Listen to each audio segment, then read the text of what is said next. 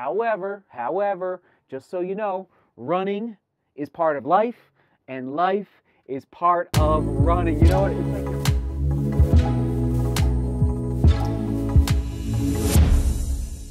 Here we are, all right, shimmying into the studio, starting off straight in the studio, keeping it a little simpler today. And yes, a couple of boxes arrived, some more shoes that I'm gonna uh, open up for you in a minute. But I kept today's vlog a little simpler. I'm recovering from Leadville. It was a big couple days up there at 10,000 feet for running and for filming. You know, I think a lot of people enjoyed the last couple days of vlogs. I appreciate you watching, but sometimes after a big effort in the mountains, I'm just like, all right, I just got to chill out and relax, recover, drink my recovery tea, and uh, just uh, unplug. And it is a Saturday, right? You know what I mean? So, and if you've messaged me on Instagram or Twitter in the last like 24 hours, no, last 48 hours, I just haven't been able to respond. I will get to you as soon as possible. Okay, today's run in the Nike Zoom Fly 3s, 10 miles, felt good. There it is on your screen in kilometers as well. And here is the deal. First of all, welcome to all the new subscribers. It's amazing. We did pass 30,000, I think it was yesterday, so welcome. But just so you know, this is definitely, definitely a daily so daily, 5 a.m. Mountain Time in Denver, Colorado, every day. Sometimes uh, I forget to. Okay, in the last nine months, I think I've missed the 5 a.m. deadline, but usually every day, 5 a.m.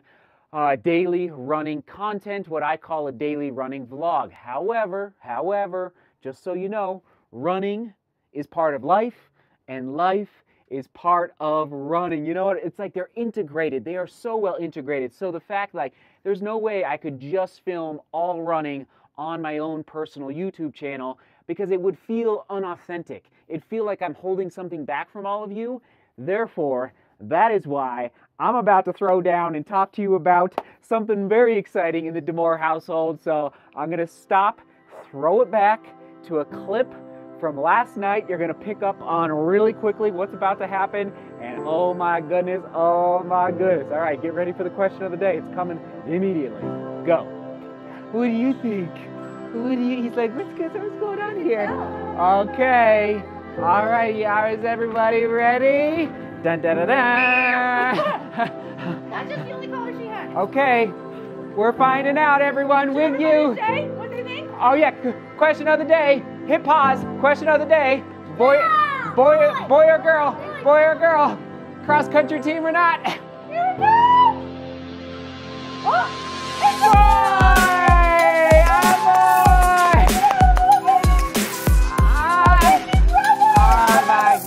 Oh, boy. Oh boy.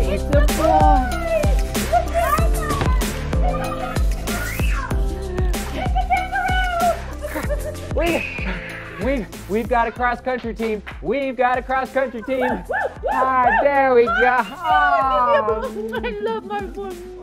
we I have, love boys. we have boys. I love being a boy. We have boys, guys. You, we we, you, yes, yes. hon, you're outnumbered. Listen, You're outnumbered. I'm a-okay. Being the only girl. I love being a boy mom. Right. I love the men. They're such brave, fierce. So, oh, precious. Baby cross country tour team DeMoor coming February 2020.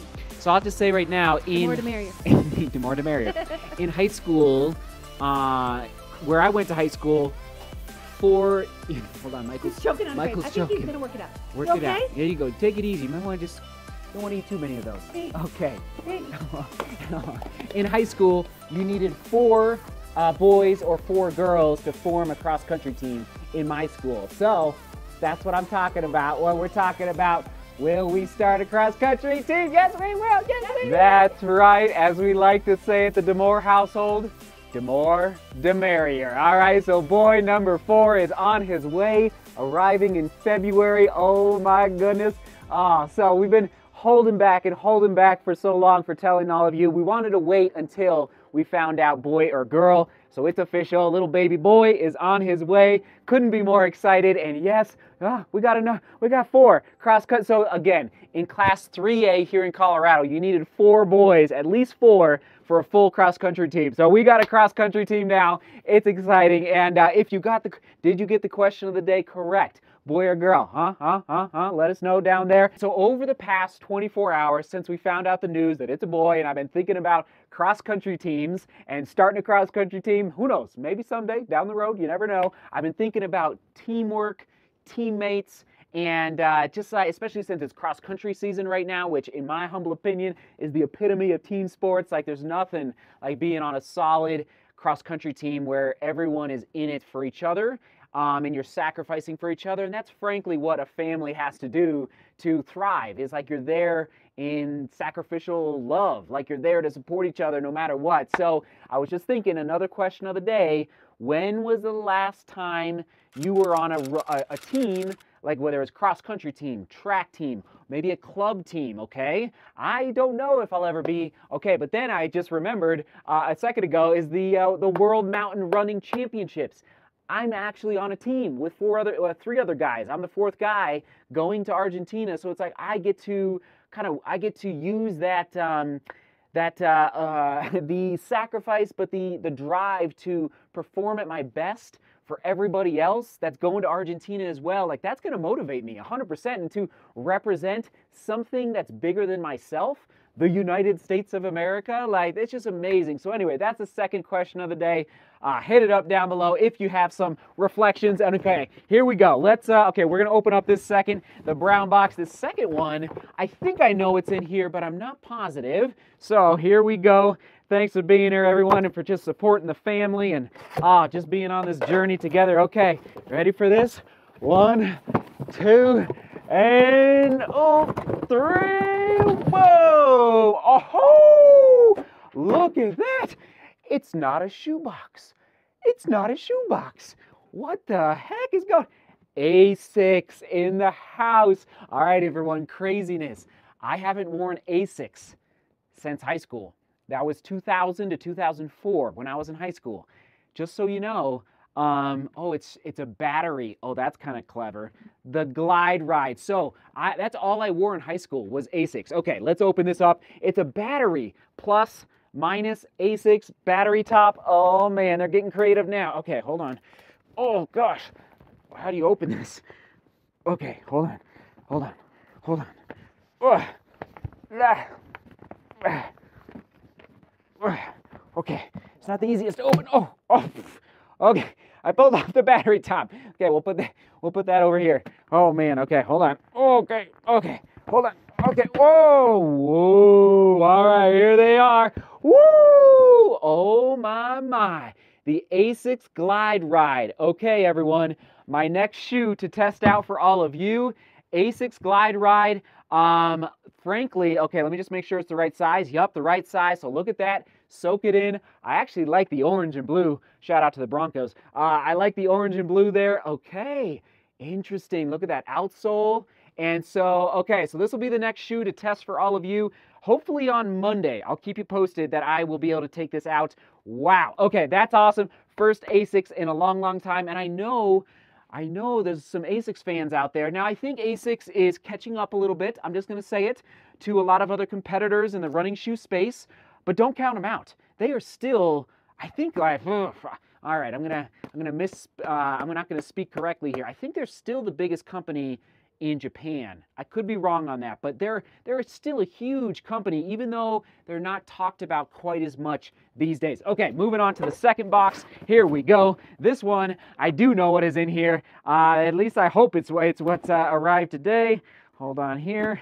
Uh huh. Dun dun dun. All right. Bada bing.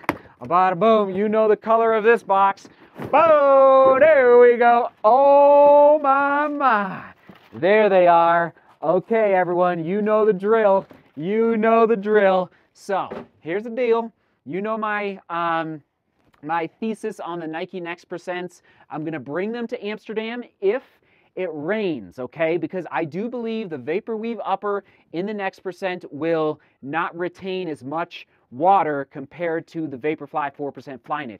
But I wanted a fresh pair, a pair. So these, the, all right, here they are right here. This pair is uh, has over 100 miles in them now. So they're definitely beat up. So I wanted a fresh pair for the race in Amsterdam. Got them for a pretty sweet price. I'll just tell you, I think I think it was like 145, which I think is pretty good. Um, so there you go, the Nike Vaporfly 4% Flyknits.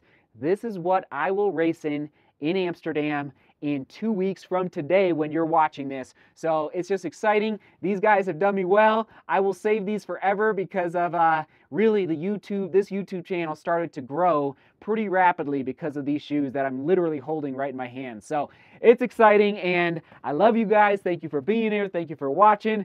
And uh, gosh, onward and upward, baby boy on his way. And uh, I'm just uh, grateful to be able to share a little bit of this uh, story and this world and this life with all of you through this global platform that we call YouTube every single day. So, mm, all love, all love through the camera, through the intraweb to you. All right, everyone, tossing it back to a couple old blogs. We're going to go back to an old Vaporfly 4% vlog from 2018. And on the left, we're going to throw it back to another family vlog when Michael was born about 18 months ago. So if you want to go back into the family archives, there it is. All right, seek beauty, work hard, and love each other.